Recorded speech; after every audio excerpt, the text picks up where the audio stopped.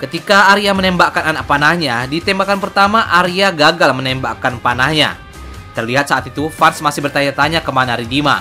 Sampai akhirnya Fans melihat butiran gelang Ridima yang berceceran di tanah dan mengarah ke boneka Rahwana. Fans langsung menduga Ridima ada di dalam boneka. Cancal yang memperhatikan gerak-gerik Fans dari tadi dengan cepat meminta Arya segera melepaskan anak panah kedua. Arya pun melepaskan anak panah itu Fans berteriak memanggil nama Ridima dan dia pun langsung berlari menghentikan anak panah yang hampir saja membakar boneka Rawana. Ridima pun selamat. Nenek dan lainnya saat itu belum mengerti apa yang dilakukan Fans. Tapi ketika Fans membawa keluar Ridima dari tumpukan jerami yang menutupinya, semua terkejut dan meneriaki nama Ridima.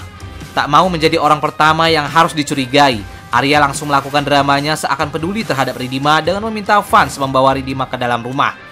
Anupriya yang melihat kejadian itu antara kaget dan merasa tak percaya. Walaupun begitu, Anupriya setuju saja jika memang itu kelakuan dari Arya dan Cancal. Sayangnya, Ridima tidak mati, kata Anupriya. Begitu sampai di dalam, Fans berusaha membuat Ridima sadar. Cancal dan Arya terlihat panik. Tak berapa lama kemudian, Ridima tersadar dan dia hanya menatap Fans. Fans bertanya, siapa yang melakukan ini padamu, Ridima, dengan tegas. Cancal dan Arya semakin panik.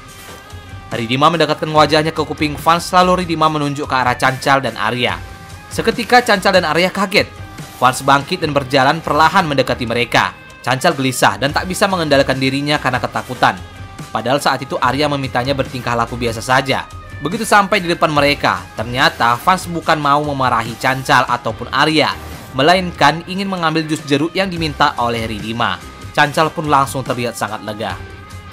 Sambil meminum jus, Ridima berkata di dalam hatinya, Sebenarnya aku tahu itu pasti perbuatan kalian, tapi aku sengaja tak mengatakannya karena aku ingin melihat ekspresi ketakutan kalian saat ini. Biar ini menjadi teror bagi kalian, kata Ridima di dalam hatinya. Ridima lalu bertanya, apakah seluruh acara sudah berlalu? Nenek mengatakan belum, kamu masih bisa melakukan Vijay Tilak kepada fans sekarang. Ridima pun berdiri dan mengambil posisi di belakang fans. Ridima meminta fans mendongakkan kepalanya ke belakang Lalu Ridima pun menempelkan dahinya ke kening Fans. Sama-sama menjadi kaku, Fans dan Ridima terlihat bingung atas apa yang baru saja mereka lakukan. Lalu dalam situasi ini, Anupriya dan Kabir tak buang kesempatan. Kabir pun datang menyamar sebagai dokter yang akan mengobati Ridima menggunakan APD lengkap anti-COVID membuat Kabir tidak bisa dikenali siapa pun. Fans bertanya, siapa yang menghubungi kalian? Anupriya pun menjawab, ibu yang baru saja menghubunginya untuk memeriksa Ridima. Kabir pun langsung memeriksa keadaan Ridima dan mengatakan tidak ada yang perlu dikhawatirkan. Mendengar itu, Fas dan Ridima pun kembali keluar dan melanjutkan acara mereka untuk membakar boneka Rawana. Tak membuang kesempatan, Kabir pun langsung pergi ke kamar Fans mencari keberadaan memori. Namun Kabir sama sekali tidak menemukannya. Ternyata bersamaan dengan itu, di luar, Ridima yang melemparkan beras ke dalam api yang membakar Rawana. Dia juga membuang memori itu dan membakarnya. Dalam hatinya, Ridima berkata, Aku tak akan meragukanmu lagi, Vans, karena aku tahu kau bukanlah pembunuh Ragini. Kaulah yang melindunginya saat ini. Berikutnya saat Ridima kembali ke kamar, Ridima kaget Kabir sudah ada di sana. Kabir memaksa Ridima memberikan memori itu, tapi Ridima mengatakan kalau dia tidak memiliki memori itu lagi, karena Vans bukan pembunuh. Kabir murka mendengarnya dan terus menekan Ridima. Vans membunuh Ragini ataupun tidak, kau tetap harus memberikan memori itu kepadaku, kata Kabir. Ridima mengerang kesakitan atas genggaman tangan Kabir yang begitu keras. Tak dapatkan jawaban yang dimau, Kabir nggak bisa memaksa Ridima terlalu keras lagi karena dia masih membutuhkan kepercayaan Ridima saat ini. Dia pun meminta maaf kepada Ridima dan mundur. Terdengar suara fans datang. Dengan cepat, Kabir langsung kabur lewat jendela.